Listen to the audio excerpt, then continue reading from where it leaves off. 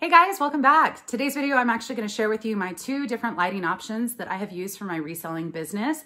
One is my permanent station that I use for pretty much everything now, but I do have a second lighting option that I did get for a slightly different purpose and I have used it for photos. And so I think I could kind of speak to both of them. Um, but yeah, so if you're interested in kind of hearing my thoughts and some lighting options, uh, feel free to subscribe, hit the thumbs up, all of that kind of fun stuff. We are actually upstairs in my loft area. This is one half of my loft and I'm gonna actually start with my box lights because that's what I primarily use. We'll come back to the ring light in a second. Um, so I have a A-frame cabin and I am in a loft which is an open, you can see a railing. Um, so this actually can be seen from my downstairs area. And why I think, I feel like I'm off to the side, but that's okay. Um, why I set up my photo station here was because I have somewhat of a half, a half wall right here that I can basically move my lights, my box lights back. And for the most part, there's not much other reselling stuff that can be seen from downstairs. Now, I don't have a lot of, you know, house parties or anything like that, but there are times that I've got friends over and I just kind of want to hide my reselling stuff from being seen from downstairs. Now, keep in mind, I, in San Francisco, lived in a studio apartment for almost 10 years. Um, so I definitely am familiar with what it's like to live in a very small space if you happen to. But for now, I created a area that I could kind of easily push to the side and have kind of my house not be completely taken over by reselling. But there are some downsides to this space. So I thought I would talk about my photo space first. Um, this is a flat wall, obviously, but it, it's a pretty short wall because actually everything up is my roof. So an A-frame cabin goes like this. So my roof is actually coming like this. And I didn't want to paint my, my, um, my wood ceiling. So I do have kind of a short area. You can see this mannequin, if I stood up, it's definitely, it's not as tall as me. So it's less than five, five, but I think it's less than five feet is this, this space. And with that comes its challenges with taking photos of longer items. Um, I don't have any many items that are wider than my space, so I don't think it's the width, but it's just more the height that's, that can sometimes get to me. But what I did when I first started reselling, this wall was a stain, which is in part of my house, and I'm trying to slowly but surely revamp my house over time. But it was kind of this stained brown color, similar to the color of the ceiling. And I couldn't, I didn't want to use that for the background of my photos. So I actually got some uh, shelf paper and put that up as a temporary way to have something white, a white background. Um, so if you look at some of my older photos, you'll see a marbled white background and that was just a shelf paper that was temporary. Um, that was never supposed to be permanent, but eventually I upgraded to a non-reflective paint, which is this. My dad actually went to a paint store. He likes going to those stores.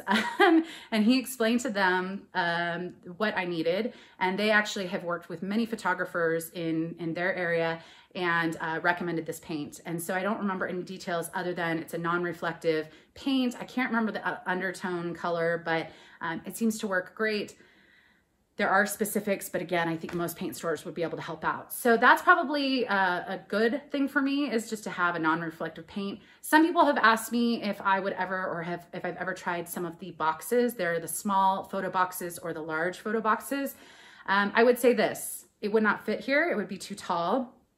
Um, it's also very expensive. The tall ones are, I think, $250, $300, somewhere in that range, I think, um, unless they've gone down. But that's a very, very expensive investment. And I already had a space that I could kind of dedicate in a closed off way for my, my photos. So um, I also have heard from some people who have used those photo setups that they're kind of permanent. They're not easy to break down and move into a closet. So if you're going to have something permanent like a light box, um, I, for me, it just makes more sense to just have a photo setup like this. But definitely something to check out, a bigger investment with one of those. I am thinking about getting a smaller light box for things like hard goods and shoes at some point, um, but that's probably the extent of what I'll do. I'll probably just always have something like this. So uh, let's see. Overall, I'm really happy with this photo space. It works for 95% of the stuff I need to take photos of. It's just the height that can be sometimes a problem. And yeah, but let's just talk about this box light. So this is by the brand Neewer. Is that, backwards? It might be backwards. I think it's backwards. Um, but it is just your basic box light. I have two of them. And this little thing can come off and you can kind of peek inside. I don't think you need this on. I just set it up and I've just kind of kept it that way. Those light bulbs I did replace. I will try and link those light bulbs down below in case you want something a little less bright. But there's the reflective aspect of the kind of silver sides. Um, it's very easy. To, these are lightweight, easy to move around if I need to. And then back over here, this is on one side, on the second side, off and off. So what I really like is the simplicity. I don't need to think about it. It could be really late at night. I come up here, I turn these on and then turn them on on the other one and, um, you know, creates, creates some really good lighting. Now I do have natural light, so it doesn't, it might not seem like that big of a deal, but these are, this is what it looks like with both of them on, one of them on, and none of them on. So definitely makes a difference for me, especially at nighttime.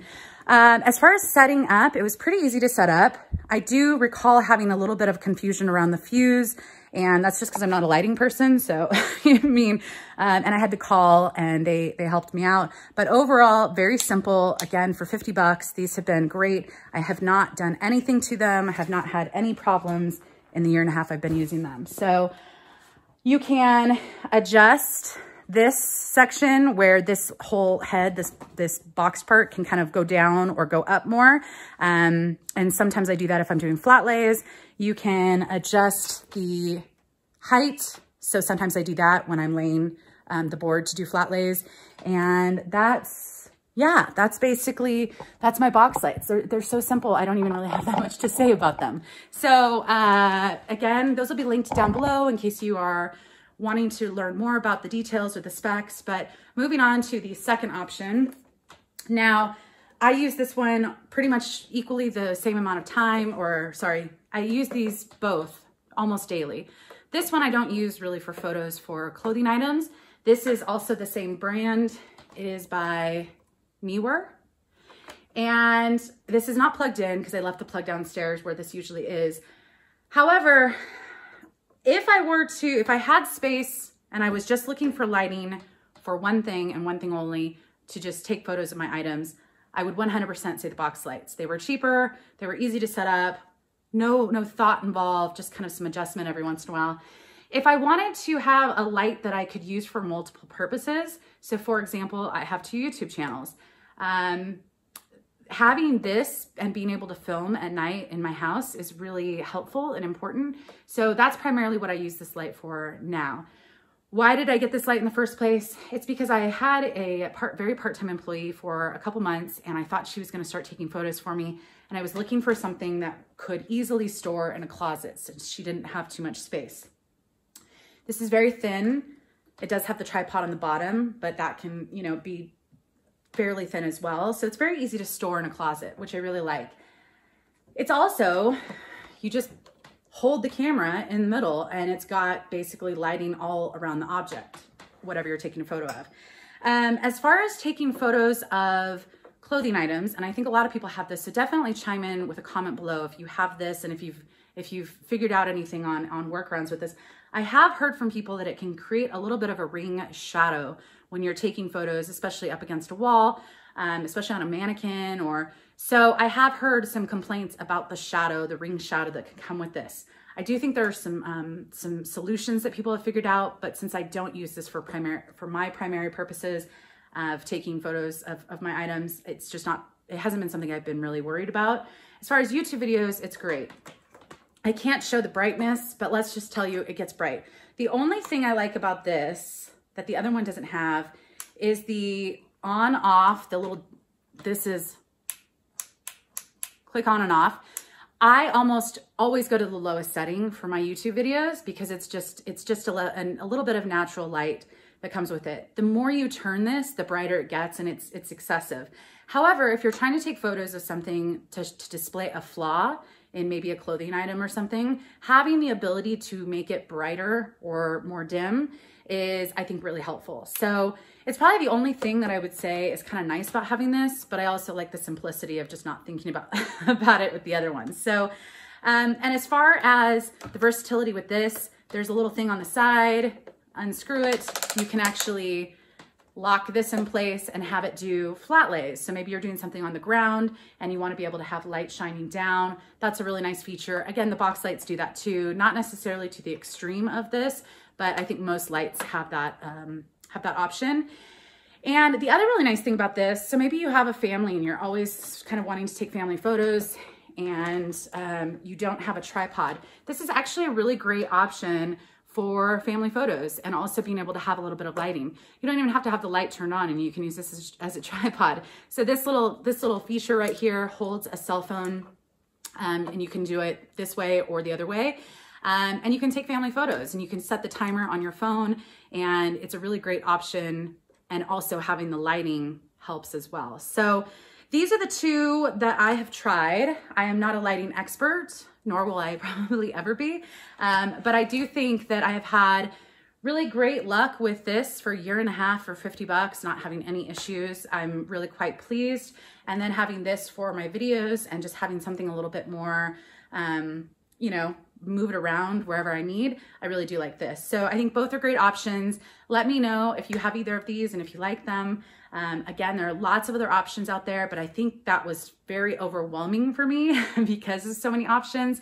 So if you just want to take my uh, my experience, I think either of these would be great. And um, so yeah, check them out down below. Hit the thumbs up on your way out, and I will see you guys in another video tomorrow. Bye, guys.